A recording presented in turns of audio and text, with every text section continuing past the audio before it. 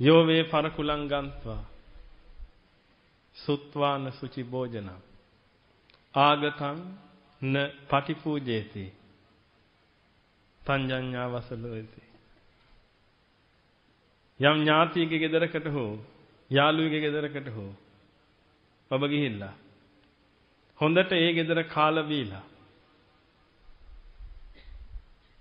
හොඳ රසමුසු භෝජන වලින් කාලා ඒ අය නැවත ඔබේ ගෙදරට ආවට පස්සේ සීනි බෝතලේ හූරනවා නම්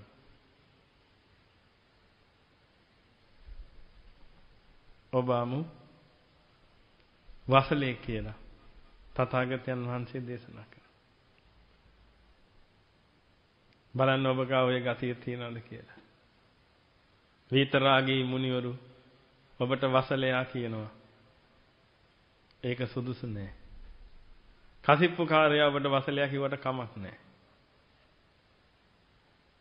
නරියා හූ කිව්වට කමක් නෑ. දෙවියෝ හූ කිව්වොත් තමයි ප්‍රශ්නේ. බලන්න පින්විතනි ඔබගේ ජීවිතවල මෙච්චර කාලයකට එහෙම තිබුණා නම් ඔබ යන ඔබගේ සේවකයා ගෙදරට දැන් මං අල්ලන්නේ පින්විතනි ඔබට අහු වෙන්න සිතෙන් වලින් මම කියන්නේ ඔබ යනවා ජනාධිපතිතුමාගේ ගෙදර කියලා ඔබ ජනාධිපතිතුමාගේ ගෙදර ගිහිල්ලා කෑවට වඩා ඔබ හොඳට හදනවා ජනාධිපතිතුමානේ එන්නේ මම මේ ඔබට පෙන්වන්නේ පිටින් ඔබගෙන් වෙන්න පුළුවන් වැරදි. මම හොඳටම දන්නවා ජනාධිපතිතුමා ඔබේ ගෙදර එනවනම් 32ක් ව්‍යාංජන සමග ආහාර පිළියෙල කර තිබේවි. මොකද ඔබේ තරම් ගැති. මම මේ ඔබ කියන්නේ පිටින් මේ මගේ ඇස් දෙකට අහු වෙන මූණ වලට එහෙම නෙමෙයි. මම මේ ඔබ කියලා කියන්නේ ලෝක සත්‍යයට. මොකද හේතුව පිටින් ඔබ කියන එකේ බහුවචනේ ඔබමයි. ඔබලා කියන්නේ ඔබනවට. එහෙනම් මට ඔබලා කියන පාවිච්චි කරන්න බෑ. ඉතින් මම ඔබ කියලා කියන්නේ සියලු දෙනාට. ඒක නිසා ටිකක් රිද්ද ගත්තට කමක් නැහැ. ඕනෑමට වඩා රිද්ද ගන්න එපා. අපි එහෙම නෑ නේ උනට හාමුදුරුව අපිට ඔබ ඔබ කියනවා. ඒ තරම් ගැති වෙනවා පින්වතුනි. තාන්න මාන්න තනතුරු දෙසා. ගමේ සෝතාපන්න වෙච්ච උපාසක ඇත්තා. ඔබගේ ගෙදරට ආවම ආ උපාසකයි ඕන් ඔය තියෙන තැනකින් ඉඳගන්නකෝ මම ඔබට බත් ටිකක් බෙදන් එන්න. පලාතේ ඇමතිවරයා മന്ത്രിවරයා එනවා ගෙදරට. කොන්දේ අමාරුව හැදෙනකන් නැවෙනවා. එන්න එන්න. එන්න. සීට් එකත් අතින් පිහදානවා. ඉඳගන්න. මුලින්ම වතුර අරන්. ඔන්න බත් ටිකක් නම් කාලම යන්න ඕනේ මේ පාර නම්. පින්විතනේ හොඳට බලන්න නීච නින්දිත ස්වභාවය හැටි. අර උපාසකයත්ත සෝතාපන්න වෙච්ච ආර්ය ශ්‍රාවකයා කුස්සියේ. ඒකේ උයන කුස්සියේ. ටයිල් අල්ලපු එකෙත් නෙමෙයි උයන කුස්සියේ. එළියේ තියෙන මඩුවේ බංකුවක ඉඳගෙන ඔබ දීපු දානිය වළඳනවා. ශක්‍ර දෙවියෝ අනිත් දෙවරුත් එක්ක ඇවිදilla ඒකට දිව්‍ය ඕජස ඇතුල් කරනවා ඇති. නමුත් අර ගෙදරට ආපු ඇමතිවරයාට මොකද කළේ? සීට් එකත් අතින් පිහදාලා. තවත් කුණු පොඩ්ඩක් හරි තියනවනම් පිහදාලා වාදි කරවලා රාජ භෝජනයෙන් පුද සත්කාර කළා. යමපල්ලෝ හිතන් ඇති. වරෙන්කෝ උඹට දෙන්නම් කියලා. මේක තමයි පිටින් යථාර්ථය. රුපියල් සතවලට තාන්න මාන්න තනතුරු වලට ගැති වුනහම තමන් ආව ලෝකයක් අමතක වෙනවා. ස්වභාවය. ඔබ යන ඔබගේ ඔයගේ සේවකයා ගෙදර. ඔබ සේවකයාගේ ගෙදරට ගියාම සේවකයාට හරි වටිනව ඔබ. ඒක නිසා සේවකයා හැම ආකාරයෙන්ම ඔබට පුද සත්කාර කරනවා. හැම විදිහටම. ඔබට පුද සත්කාර කළා. ඔබ එන්න හදනකොට ඉක්මනට ගහකට බඩ ගාලා තැඹිලි වල්ලකුත් කපලා ඇතුළට දානවා. මේ අපි හේන් ගොවිතැන් කරලා සර් මේක ගත්තේ. මේ මට වසවිස දාලා නෑ සර් කියලා. එළවලු ටිකකුත් දානවා. මේ ගහේ ඉදිච්ච peer සර් කියලා. peer ටිකකුත් දානවා. පළතුරු ටිකකුත් දානවා. මේ අපේ කුඹුරු වල වී සර්. වී මල්ලකුත් දානවා.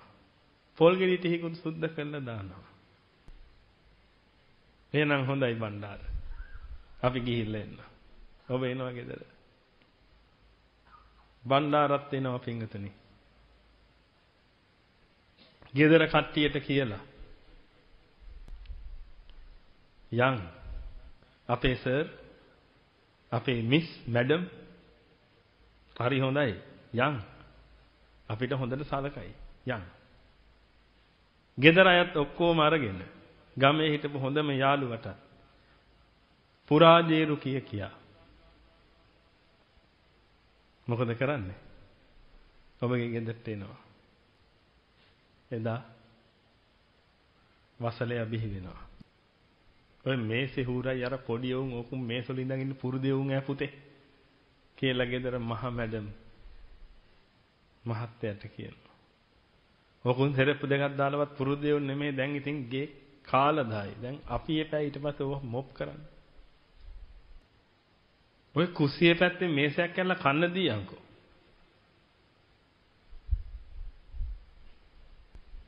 කුස්සියේ පැත්තේ මේසයක් විලියල කරනවා අර වසලයා. මම නෙමෙයි වසලයා කියන්නේ. මාත් එක්ක අමනාප වෙන්න එපා. අර ඉන්නේ. අමනාප වෙනවා නම් අර ඉන්නේ. මේ ලෝකේ බුද්ධ ශක්තියට ආරාධනා කරලා තියෙන්නේ.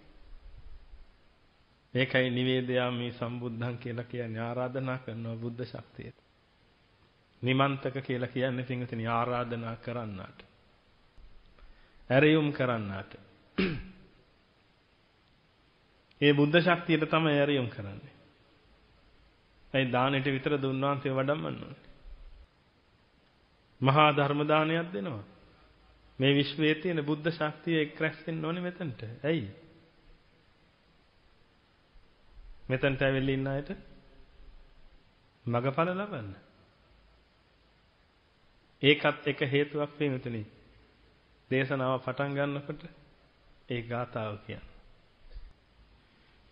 මම ඔබට කිව්වේ දැනගෙනයි මේ ගමන යන්නේ. නොදැන යනවා නෙමෙයි. කොහොම හරි. දැන් මොකද වෙන්නේ පිංගුතනි? අර වසලෙයි වැසලී. මහ වසලී. වසල් පැටවුයි. ඔක්කොම එකතු වෙලා. අර අහිංසක මිනිසයාට ඔය මොනවා හරි පොඩි හොද්දක් හදලා වත් ටිකක් කන්න දෙනවා. ප්ලාස්ටික් පිඟානේ. ඔබ එනවයි කිව්වහම ඒක. යාළුවෙකුගේ ගෙදර ගිහිල්ලා හොඳ පිඟන් ටිකක් ගෙනාවා. අපේ ගෙදර පිඟන් නෑ බා. එහෙම මෙහෙන් කැඩිච්ච තියෙන්නේ. අපේ සර් වෙනවා. දැන් මේ අවුරුද්දේ ඔහොම ඒවා වෙයි.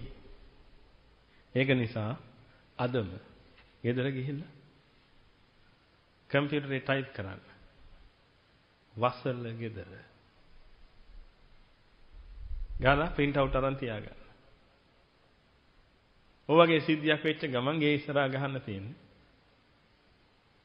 විලා හරි මොකක් හරි දැන් ගහලා ඉතින්. නැත්තම් පාය හරි. පාය කියලා ගහ දෙනවා ඔක්කොම ගලලා ආයන්න දාන්න. එතකොට හරි. මොකද ඒක තමයි අනාගත උරුමය. නැත්තම් පින්වතුනි වසල නිවස. වසලිය වාසය කරන්නා වූ නිවස. ඕක වෙන්න දෙන්න එපා. ඕක ඔබෙන් වුණොත් ඔබ මේ ගේට්ටුවෙන් ඇතුළට එන සුසු කෙනෙක් නෙමෙයි. පින්වතුනි මේ අලුත් අවුරුද්දේ ඔබට හැදෙන්න ගොඩක් දේවල් තියෙනවා. හදාගන්න ඔක්කොම. ඔක්කොම හදාගන්න. මම ඒකෙන් කියන්නේ ආ බණ්ඩාර මල්ලි කියන්න නෙමෙයි.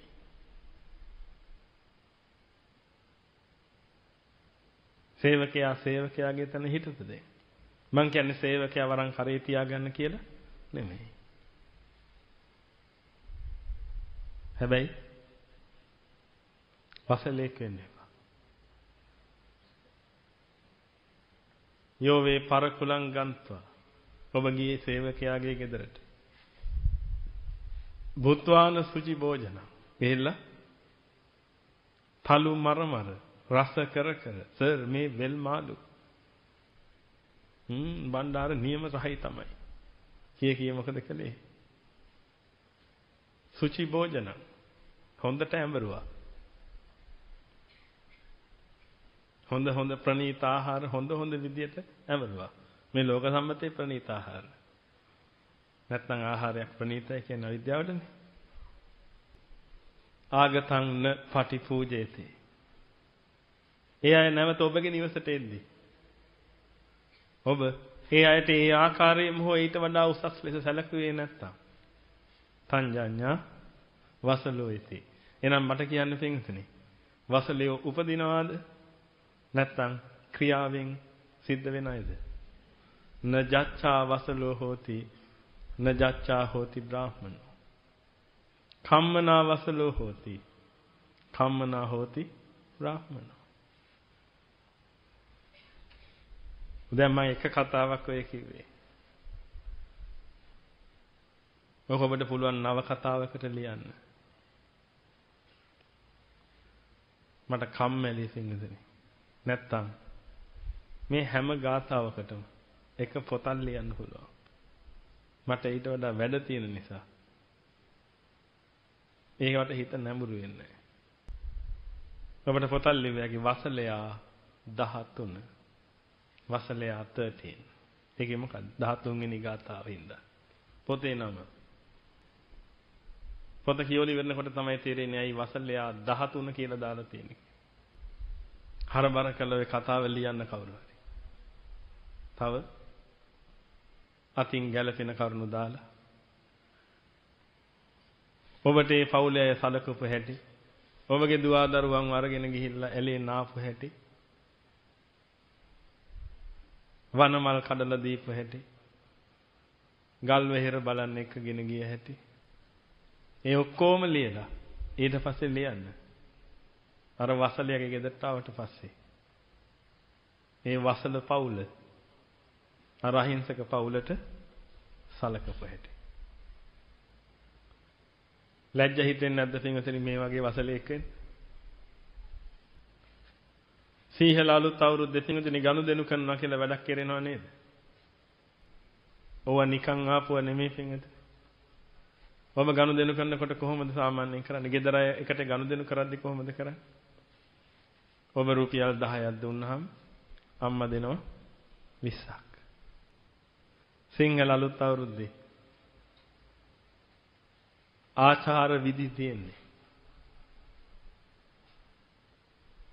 එතන තියෙනවා පින්වතුනි වසල අංක 13 ඉවත් කරගන්න ක්‍රමය. ඔබ සේවකියොත් එක ගනුදෙනු කරනවා. ඉතින් සේවකයා ගෙනත් දෙනවා රුපියල් 100ක්. ඔබ 110ක් එයාට දෙනවා. එහෙම නේද කරන්නේ? අපි නම් ඉස්සර හරි කැමති ගනුදෙනු කරා. රුපියල් 100ක් විතර අම්මට දුන්නාම 200ක් විතර ආපහු ගත්තා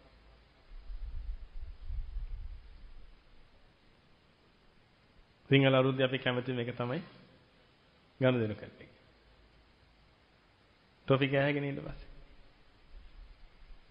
මම ඔබගේ දරුවා ගැන නෙමෙයි කියන්නේ අපි ගැන. ඔබගේ දරුවා මොනව කරයිද දන්නේ නැහැ රුපියල් 200 අරන් ගිහින්. ඇයි? අපේ ජෙනරේෂන් එකට තව එහා ගිය ස්ටෑන්ඩඩ් ජෙනරේෂන් එකක් වෙයි තියෙන්නේ. ඒකයි කියන්නේ පරිස්සම් කරගන්න කියලා.